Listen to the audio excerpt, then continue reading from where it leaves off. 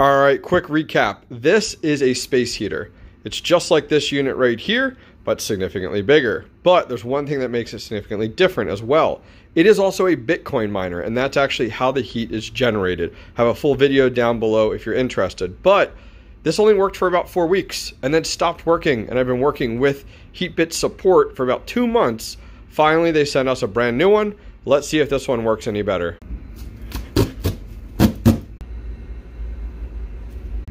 Step one, connect our power. Step two, turn on the power. Step three, download the HeatBit app. All right, our HeatBit is blinking. Let's go ahead and set it up inside the app. All right, we're making progress. We're inside the app. We added it and we're connecting to our home network. Let's see how we make out. All right, well, we're finally up and running. Took a few reboots and a few removals of the app and reinstalling it, but we're good to go. I'll give you guys an update in a week.